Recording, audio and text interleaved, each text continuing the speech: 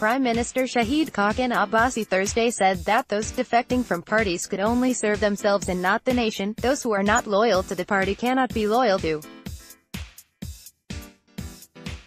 the country either, the premier observed while speaking at the inauguration ceremony of a gas project in Sheikhupura. Those who cannot respect others cannot respect the vote either, the premier said.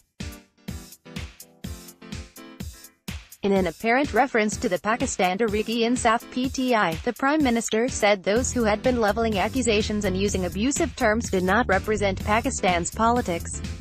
The Prime Minister said THT milestones outlined in the PTI's 100-day plan had been achieved by the Pakistan Muslim League Nawaz, PMLN, published in Daily Times, May 26, 2018.